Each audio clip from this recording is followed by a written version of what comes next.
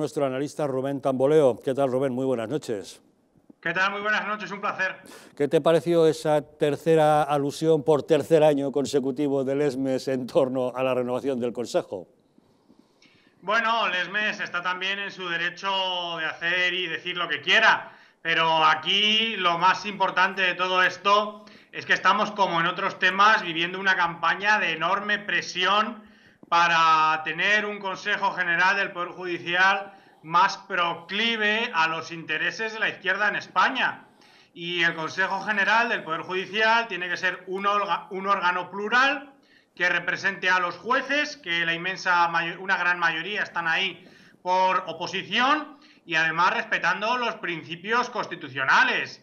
Con todo esto que habéis mencionado del intento de Alfonso Guerra, de efectivamente eliminar la separación de poderes en España a los pocos años de tener la Constitución aprobada y de toda una serie de personas ahora mismo que están diciendo que es que, que la justicia no puede ser una, una, tercera cámara de revisión de lo que se apruebe en las Cortes. No, miren ustedes, eh, los órganos legislativos tienen su capacidad eh, y tenemos otros países de gran y enorme tradición constitucional que incluso jueces de primera instancia pueden declarar ilegal una ley entonces es muy importante preservar la independencia del Consejo General del Poder Judicial y después del asalto con el que van a ir a por el Tribunal Constitucional también. Es muy importante preservar ambas independencias porque son los órganos que nos están defendiendo a todos los españoles de una serie de abusos que no se pueden tolerar en general en la política española y en particular con toda la situación que estamos viendo eh, en torno a la pandemia y que somos una muy honrosa excepción en Europa en defensa de los derechos constitucionales y de los derechos fundamentales gracias a nuestros jueces. ¿Crees, Rubén, que hace bien Pablo Casado al negarse a negociar el nombramiento de vocales mientras Sánchez no garantice la independencia judicial, es decir, mientras no se vuelva al sistema previo al 85? Claro, aquí hay un debate, o dicho muy coloquialmente, una jugarreta el Partido Socialista dice, no, primero vamos a renovar y luego ya veremos cuándo nosotros queremos cambiar la ley. Y el Partido Popular, en este caso, con mucho acierto, está diciendo, no, oiga, primero vamos a reformar esto y luego ya, según la nueva, según la nueva ley, pues eh, que, se aplique, que se aplique la nueva elección. Y contra esto se están también intentando toda una serie de jugarretas, como que dimita el Consejo General del Poder Judicial en bloque, que es precisamente en lo que aludían también al ESMES o otra serie, otra serie de intentos que van todos destinados a eliminar la independencia del Poder Judicial. Y si ya en España, que tendría que haber separación de los tres poderes, el Poder Ejecutivo y el Poder Legislativo actúan casi como una prolongación del otro, si además se mantiene esta interferencia en el Poder Judicial, en España no tendríamos ninguna clase de separación de poderes y eso sería muy perjudicial para nuestro sistema y no se ajusta a ningún contexto de, constitucionalismo y de, defensa del interés general de la gente en el contexto internacional.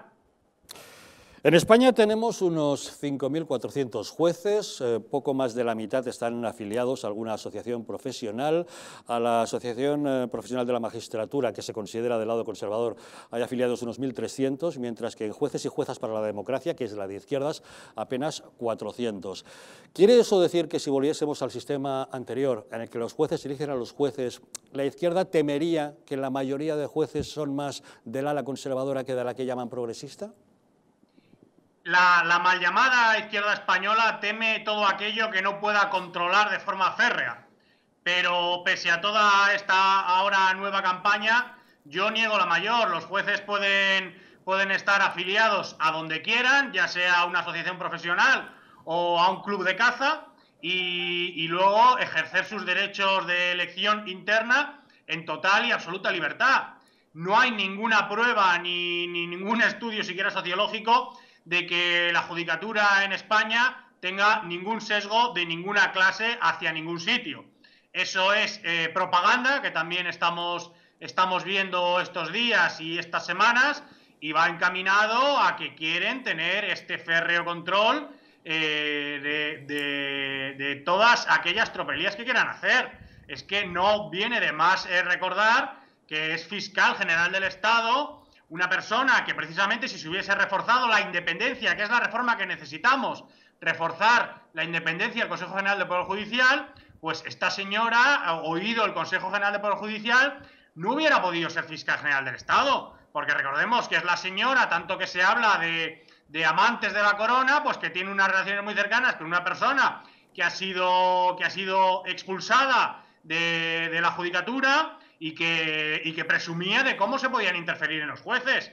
Pues lo que necesitamos, al margen de cualquier tipo de afiliación o de adscripción de los miembros de la judicatura, es reforzar la independencia de nuestro sistema judicial. Para eso hace falta una reforma y lo que no se puede hacer es ahora hacer cualquier elección de nuevos miembros eh, de una forma express y rápida cuando están haciendo su trabajo y si lo quieren renovar, pues que hagan un buen pacto en el que se refuerce la independencia del Poder Judicial.